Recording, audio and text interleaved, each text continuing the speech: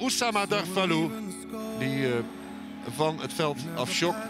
En uh, wij zeggen namens alle kijkers, welkom in de eredivisie, Mohamed Daouda.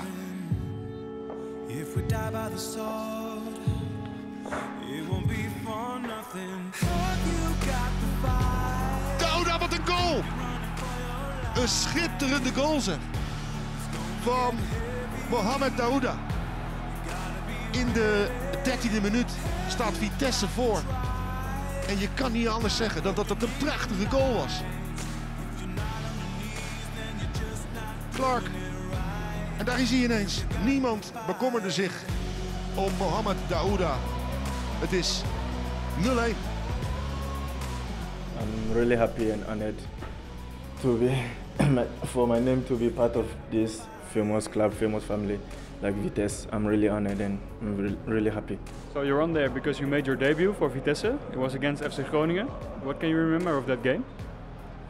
Well, in that game, uh, I, I think we played very very well, but it was really disappointing at the end because we had to concede. Uh, on, we, had, we had to concede last minute of the game and we thought maybe our effort we could have bring up, bring home a point, but at the end we considered last minute goal, and I was really disappointed at the end. But what can we do? We just have to focus and work on our next games. In the next week, you made your debut in Gelredome uh, in uh, in front of the, the fans. Um, what you, did you think of the support you you got there? Whoa, the fans were really amazing, especially when when I stood up to I, stu I stood up for warming up. They were really really happy to see me and uh, I'm really happy and I like the fans and I, I, hope they keep on supporting the club and I'm, I, I am sure we're going to fight hard.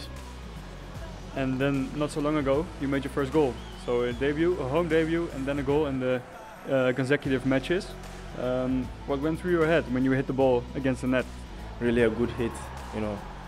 Uh, from the cross from Maxi and the, the running and it was perfectly timed and I was there at the right time and I scored and I was really happy to score my first goal for the club.